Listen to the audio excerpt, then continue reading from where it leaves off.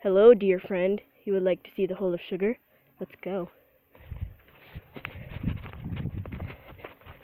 The hole of sugar.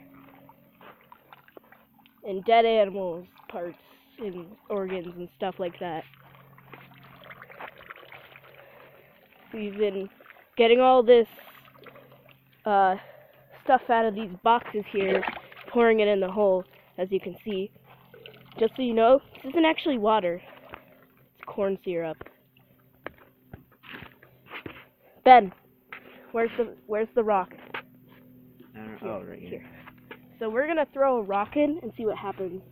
Well, Kathy is. You little frick. Oh! That was so gross. You can't even see it anymore because the corn syrup is so dark.